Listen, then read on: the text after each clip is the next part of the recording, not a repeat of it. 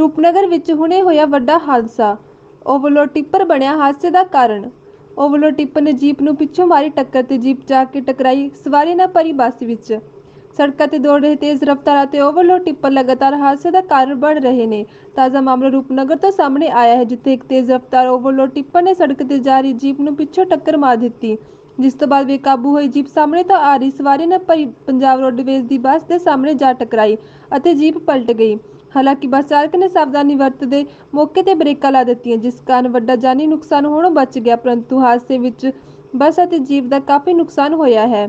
ਮੌਕੇ ਤੇ ਮੌਜੂਦ ਚਸ਼ਮਦੀਦਾ ਨੇ ਦੱਸਿਆ ਕਿ ਇਸ ਰੋਡ ਤੇ ਚੱਲਦੇ ਓਵਰਲੋਡ ਤੇ ਤੇਜ਼ ਰਫ਼ਤਾਰ ਟਿੱਪਰਾਂ ਦੇ ਨਾਲ ਅਕਸਰ ਵੱਡੇ ਹਾਦਸੇ ਹੁੰਦੇ ਨੇ ਤੇ ਕਈ ਮਨੁੱਖੀ ਜਾਨਾਂ ਵੀ ਜਾ ਚੁੱਕੀਆਂ ਨੇ। ਮੌਕੇ ਤੇ ਮੌਜੂਦ ਜੀਪ ਡਰਾਈਵਰ ਅਤੇ ਬੱਸ ਕੰਡਕਟਰ ਨੇ ਹਾਦਸੇ ਸੰਬੰਧੀ ਜਾਣਕਾਰੀ ਦਿੱਤੀ।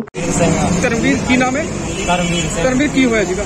ਗੱਲ ਇਸ ਤਰ੍ਹਾਂ ਵੀਰ ਜੀ ਗੱਡੀ ਆਪਣੀ ਸਾਈਡ ਤੇ ਤੇ ਜਾ ਰਹੀ ਸੀ ਇਹ ਛੋਟੀ ਗੱਡੀ ਵਾਲਾ ਇਧਰੋਂ ਲੱਗਿਆ ਸੀ। ਔਰ ਉਹ ਟਿੱਪਰ ਵਾਲੇ ਨੇ ਆ ਕੇ ਤੇ ਸਾਈਡ ਮਾਰੀ ਇੱਕਦਮ ਗੱਡੀ ਇੱਧਰ ਸਾਡੇ ਵਾਲੀ ਸਾਈਡ ਤੇ ਬੱਸ ਦੇ ਸਿੱਧਾ ਆ ਕੇ ਸਾਹਮਣੇ ਟੱਕਰ ਹੋ ਗਿਆ। ਬ੍ਰੇਕ ਲਾਉਂਦਾ ਵਾਲਾ ਗੱਡੀ ਪਲਟ ਗਈ ਆ। ਬਾਕੀ ਕੋਈ ਜਾਨੀ ਨੁਕਸਾਨ ਨਹੀਂ ਹੋਇਆ। ਗੱਡੀ ਦਾ ਦੋਨੋਂ ਦਾ ਨੁਕਸਾਨ ਹੋਇਆ। ਤੇ ਸਵਾਰੀਆਂ ਹੁਣ ਕਿੱਥੇ ਹਨ ਸਵਾਰੀਆਂ ਅਸੀਂ ਦੂਜੀ ਗੱਡੀ ਸ਼ਿਫਟ ਕਰਤੀਆਂ ਜੀ। ਬਾਕੀ ਦੇਖ ਲਓ ਸਾਡੀ ਗੱਡੀ ਦਾ ਤੇ ਗੱਡੀ ਦਾ ਬਹੁਤ ਨੁਕਸਾਨ ਹੋਇਆ ਹੈ। ਗਲਤੀ ਸਾਰੀ ਟਿੱਪਰ ਵਾਲੇ ਦੀ ਆ। ਜੇ ਓਵਰਲੋਡ ਕਰਕੇ ਓਵਰ ਸਪੀਡ ਨਾਲ ਚਲਾਉਂਦੇ ਆ। ਹਾਂਜੀ। ਕੀ ਹੋਇਆ ਸੀਗਾ? ਗੱਡੀ ਦਾ ਕੰਮ ਕਰਾ ਕੇ ਆਈ ਸੀ। ਔਰ ਇੱਧਰ ਨੂੰ ਮੋੜਨ ਲੱਗੇ ਸੀ। ਜਦ ਨੂੰ ਟਿੱਪਰ ਆ ਰਿਹਾ ਕੱਟ ਮਾਰ ਕੇ ਗੱਡੀ ਨੂੰ ਇੱਧਰ ਨੂੰ ਮੋੜਦਾ ਜਦ ਨੂੰ ਬੱਸ ਆਈ ਬੱਸ ਨੇ ਜਾ ਕੇ ਗੱਡੀ ਨੂੰ ਚੱਕਤਾ ਜੀ ਪਲਟੀ ਕਰ।